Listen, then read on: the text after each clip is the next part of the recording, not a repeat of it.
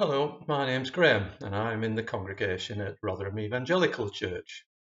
Today we are continuing our series Crosswords, thinking about what Jesus said when he was dying on the cross. In Matthew chapter 27 at verse 45 we read, Now from the sixth hour there was darkness over all the land until the ninth hour. And about the ninth hour Jesus cried with a loud voice, Eli, Eli, lama sabachthani, that is, My God, my God, why have you forsaken me? These words of our Lord Jesus Christ, My God, my God, why have you forsaken me, are holy ground.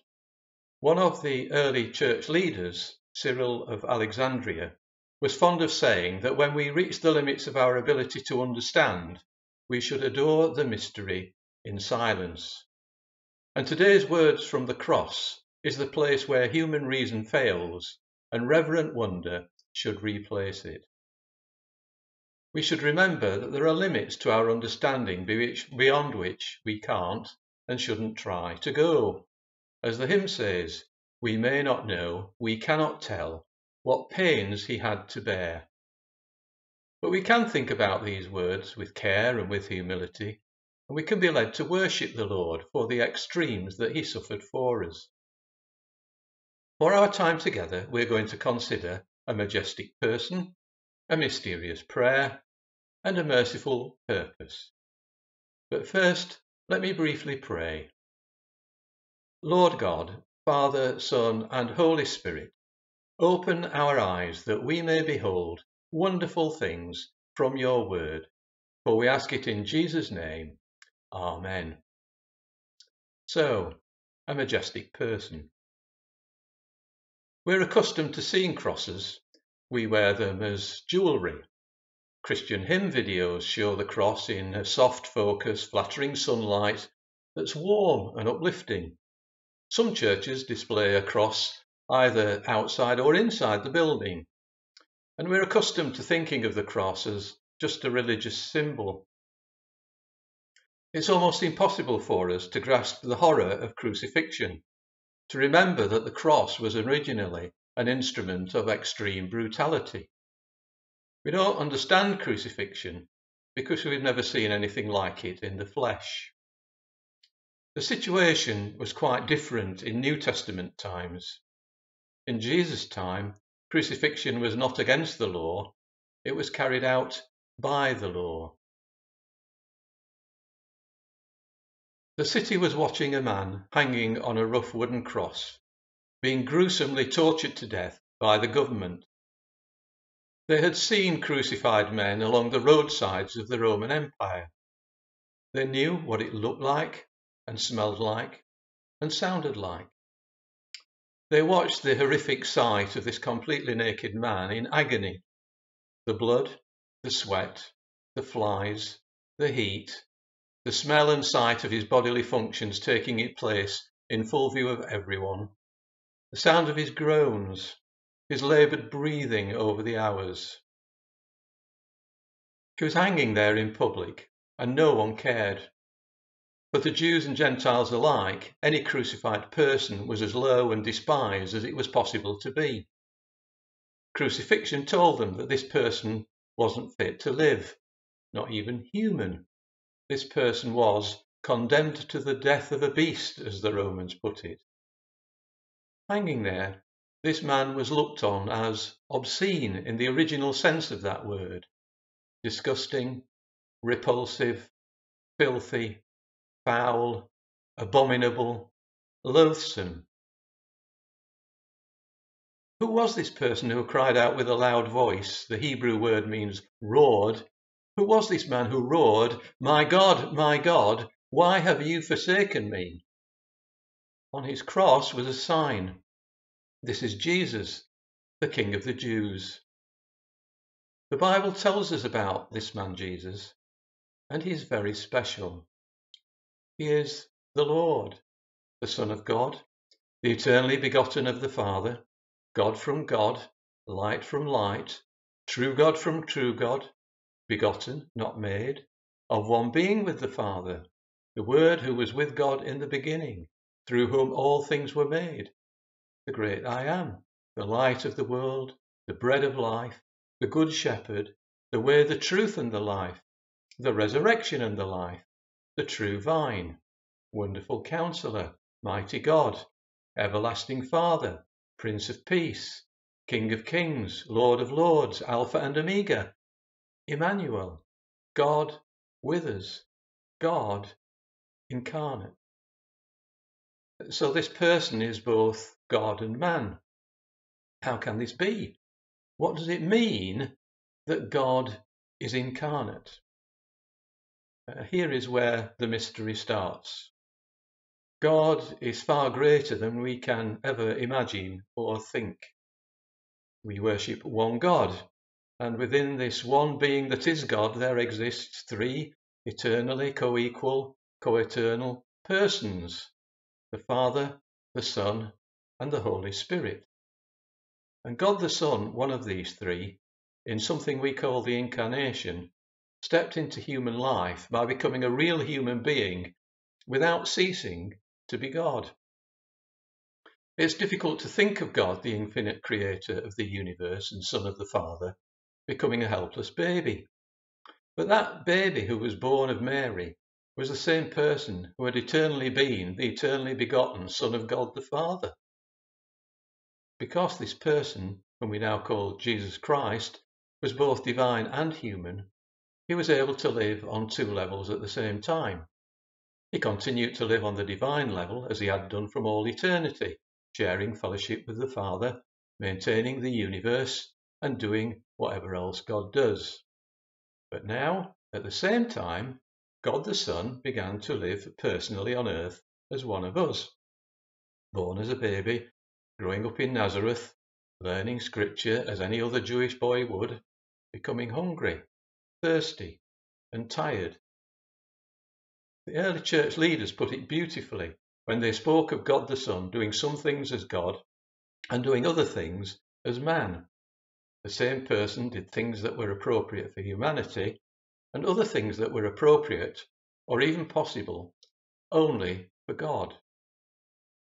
And it's this majestic person, God the Son, who has taken on the full nature of a human being while still being God, who is being subject to ritual shaming and murder, the flaying, the mocking, the spitting, the scorn, the crown of thorns and purple robe, the humiliation and degradation that culminated in the barbarity of the cross.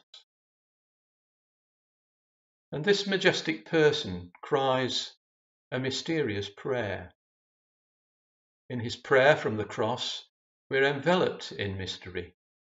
My God, my God, why have you forsaken me? This cry from the heart comes from the lips of the Lord, not crying out to his Father as he usually prayed, Father, forgive them, for they know not what they do, but to his God, My God, my God, why have you forsaken me? The Lord is expressing an extreme human emotion, an emotion that he experiences because he has a human nature and is living as a man. He is experiencing a real sense of forsakenness. This is real anguish. In the Garden of Gethsemane, just before his arrest, Jesus told his disciples, My soul is consumed with sorrow to the point of death. Luke puts it more strongly. And being in agony, he prayed more earnestly, and his sweat was, as it were, great drops of blood falling down to the ground. And his prayer was this My Father, if it's possible, let this cup pass from me, yet not as I will, but as you will. But things go from bad to worse. He is arrested, brutalized, degraded, and nailed to the cross as his life ebbs away his enemies are rampant and triumphant, and wickedness seems unrestricted. And the Lord's sense of forsakenness is deep and profound. You see, the Son had always dwelt in the eternal love and presence of God the Father. In the beginning was the Word, and the Word was with God, and the Word was God. When he submitted to John's baptism of repentance, the heavens opened and the Spirit descended on him, followed by a heavenly voice saying, This is my beloved Son, with whom I'm well pleased. When Jesus took Peter, James, and John onto a mountain and he was transfigured, a cloud covered them, and God said, This is my Son, whom I love. And here, in forsakenness, we come to the mystery of mysteries. How could the Father, who had been so pleased with his Son's submission and obedience to the divine will, be other than delighted when that obedience finally reaches its pinnacle at the cross. But we hear the Lord cry out, My God, my God, why have you forsaken me? When he most needs encouragement, no voice cries from heaven, This is my beloved Son. No angel is sent to strengthen him. No, well done, thou good and faithful servant. He is deprived of all sense of consolation. What a profound mystery. But how was the Lord forsaken? My God, my God, why have you forsaken me? Who said these anguished words? The Lord is expressing this deep emotion, an emotion that he experiences because he has a human nature and is living as a man. But the person experiencing this also has his divine nature, God the Father's eternally generated Son. Because of the very nature of God, it's not possible for the Father, Son, and Holy Spirit to be other than in eternal fellowship and communion of love with one another. So God the Son, even on the cross, in his nature as God, remains in his eternal fellowship and communion of love with the Father and the Holy Spirit. That relation is unbroken. Uh, it cannot be broken. But it is this, the same, same eternal God the Son, in his human nature as a man, that he is, for the first and only time in his human life, forsaken by God is not forsaken by the Father and the Holy Spirit as God, but somehow the eternal Son is forsaken as a man in the humanity that he took upon himself. We're not told how the Lord was forsaken. Scripture is silent. The one thing the Bible shows us is this the Lord was given over to his enemies. When his Father could have rescued him, he left the Lord to his death on the cross at the hands of these sinful people.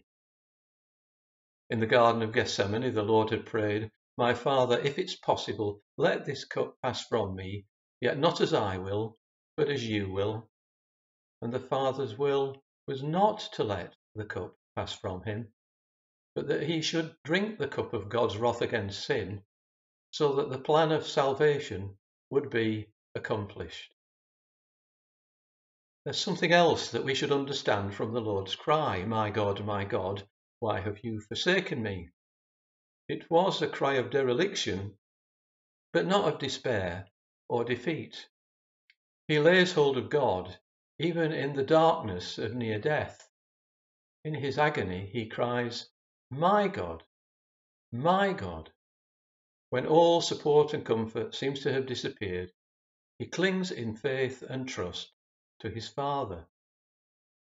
And there's further evidence that Jesus' words are words of anguish, but also of hope in God.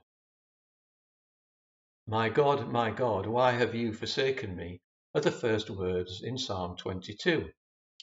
The first part of the psalm are the words of someone who really does feel forsaken by God, and there's a very vivid description of the sufferings of crucifixion. But from Psalm 22, the voice is a hymn of thanksgiving to God. I will declare your name to my people. In the assembly I will praise you. For he has not despised or scorned the sufferings of the afflicted one. He has not hidden his face from him. The Lord is invoking the whole psalm as the prayer of one who cried out to the Father in faith and trust. And we know that Jesus is using the whole psalm by just quoting one verse of it because that was his practice in his ministry. In Matthew chapter 21, Jesus is driving the money changers out of the temple, and young children were praising him. The religious leaders were indignant and they asked him, Do you hear what these children are saying? Jesus' reply seems innocuous. Have you never read? From the mouths of children and infants you have ordained praise. But it was far from innocuous. Jesus knew that these religious leaders would be familiar with the rest of Psalm 8. From the lips of children and infants you have ordained praise on account of your adversaries to silence the enemy and the avenger. These religious leaders got the message. They were being called the adversaries and enemies of God. In other words, as he prays, My God, my God, why have you forsaken me? The Lord Jesus Christ is praying the whole psalm the Lord's cry of abandonment is a cry of dereliction and anguish, but not of despair and defeat, but of hope in God. The Lord is affirming his trust in God in the midst of his extreme adversity. We've thought about this majestic person. We've considered his mysterious prayer of forsakenness. And now, finally, we look at his merciful purpose. And we ask, why did the Father leave the Lord die in agony in this most barbaric way? Well, he was forsaken so that the plan of salvation of God's people, agreed by the Father, Son, and Holy Spirit in eternity past, would be accomplished. When the Lord was on the cross, all our sins, without exception, were transferred to him. He was without sin, having lived a perfectly God pleasing life in thought and word and deed. As he hung there, all our sins were placed on him. He became the final and complete sacrifice for our sins. A theologian called William Ames looked back to the Old Testament, to the priesthood and sacrificial system for sin which God gave to his Hebrew people. And he explains that what's happening on the cross is this the Lord Jesus himself was both the priest and the sacrifice. In his divine nature, God the Son was the priest, and as priest, he was offering to the Father the sacrifice of himself in his humanity, his human body, his human blood, his human nature. My God, my God, why have you forsaken me? is the cry expressing the agony of unmitigated sin. All the sins of God's people, past, present, and future, and the hell that we deserve for eternity, are laid upon the Lord, and the undiluted wrath of God is poured out on the sin that he bore. The real purpose of the Son's feeling of forsakenness God's merciful purpose in his forsakenness is punitive. It's God's just punishment for the sin of his people. As the Apostle Paul said, God made him who knew no sin to be sin on our behalf, so that in him we might become the righteousness of God. God is a God of perfect holiness. So holy is God that human beings can't look at him and live. So holy is God that even the angels veil their faces before him. So holy is God that when Isaiah had a vision of his glory, he exclaimed, Woe is me, for I am undone, for mine eyes have seen the King, the Lord of hosts. So holy is God that the Bible tells us He's too pure to look on evil. He cannot tolerate wrongdoing. And it was because the Lord was made sin for us that he cries, My God, my God, why have you forsaken me? God made him who knew no sin to be sin on our behalf, says Paul. Among all the mysteries of salvation, those small words, on our behalf, are high on the list. Christ was acting on our behalf, as our representative, and for our benefit. With the Lord Jesus as our substitute, God's wrath is satisfied. He knew forsakenness that we might be saved from it. He endured forsakenness for us, not with us. He knew forsakenness so that we may know no condemnation. It's in these words, My God, my God, why have you forsaken me? that the limits of what we can understand are reached. It is mystery. We don't really understand. But as that wonderfully named Cyril of Alexandria said, when we reach the limits of our ability to understand, we should adore the mystery in silence. And these words from the cross are where human reason fails and reverent wonder should begin.